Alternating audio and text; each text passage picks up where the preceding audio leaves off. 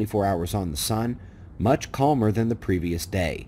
We still have plasma filaments, coronal holes in the bright active regions to monitor, but over the last day the higher C-class flare events were sustained by the active regions, all stemming from the flare and CME we saw yesterday, and which we'll rewatch here a few times.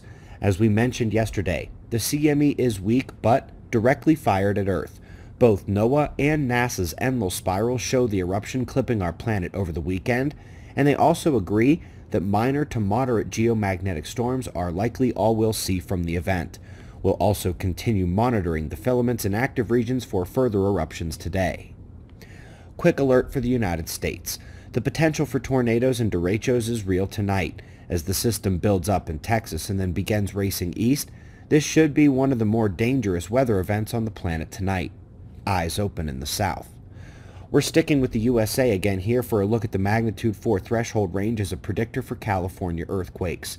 This is not only our threshold for blood echoes worldwide, but it's also our threshold for USA alerts as well. Here they are using a bit longer timeline, but they're coming up with pretty much the same conclusion. In getting ready for the James Webb Telescope, look and compare left and right. One of the best things Webb will do if it ever launches is see in closer to the stars and capture some of the interior planets they've had trouble seeing thus far. Folks, there is no link to this. I just wanted to open a window to the goofiness of mainstream scientists in these fields. Seems like, by the title, it's a fantastic book for people in our community, especially with it being free to read. But the words electric and electricity do not appear in the work, leaving a 0% chance of this text explaining how galaxies are actually dynamic.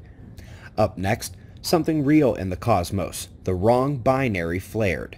It's a rare event in space to see one from the so-called polar, but they believe it was not only the minor star flaring, but that a CME may be responsible for some of the readings they recovered, and to be able to spot a CME on another star, it would need to be a killshot level event if it were to have happened on the sun. Bit of cosmology up next.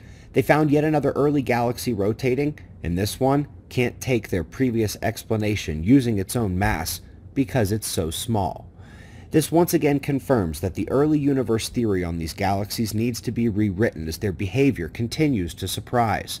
When it's a tiny galaxy, you need to start thinking that band-aids aren't going to stop the bleeding there. Now last but not least, even though this paper won't be in print for another month, you'll hopefully recall our coverage of the preprint online more than a month ago. Polar summer mesospheric echoes are driven by dusty plasma and ice in the upper reach of our atmosphere, and that charge is what delivers the conditions for the echoes, and their increase over the last few decades' time is what we had considered a function of the weakening Earth magnetic field, letting in more charged particles, and perhaps the dust event beginning in our solar system as well. An increase in dust would also increase the echoes. Today, we get another nod in the echo realm, this time trying to explain a first of its kind or at least record event observation in the vertical motion. These anomalies should continue to show up as the Earth's field weakens faster and faster, and you can learn more about the ongoing Earth changes and